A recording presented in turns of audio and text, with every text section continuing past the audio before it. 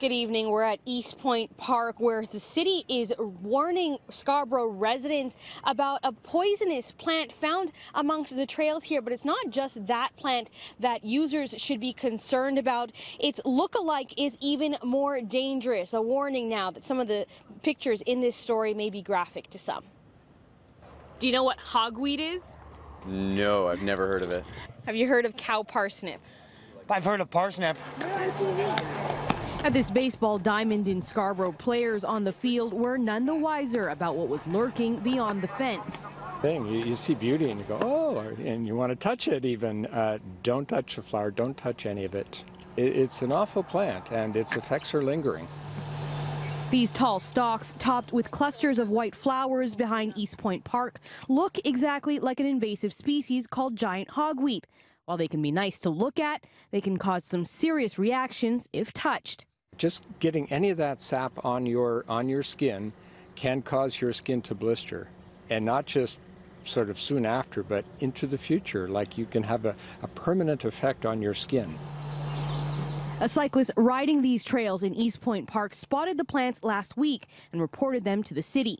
After days of testing, it was determined they weren't hogweed, but a related plant called cow parsnip. Looks similar, and it has a much milder effect.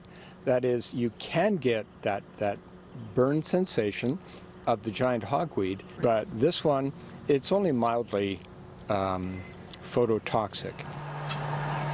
Since this poisonous plant is native to Ontario, the city will only remove stalks blocking public trails and put up warning signs like they do for poison ivy.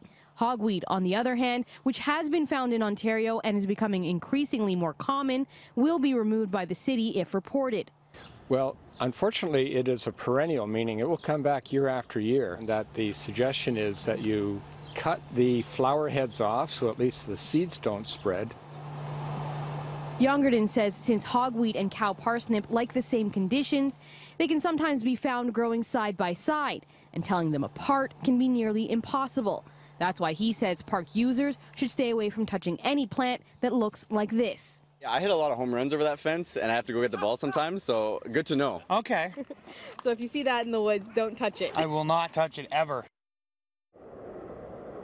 Now, one of the few ways to tell those two plants apart is by their height. As the name suggests, giant hogweed can grow to be 10, even 20 feet tall, whereas cow parsnip is about five or six. Now, the city says that if you spot a plant that looks like either of those two, you should call them at 311 and definitely stay away from it.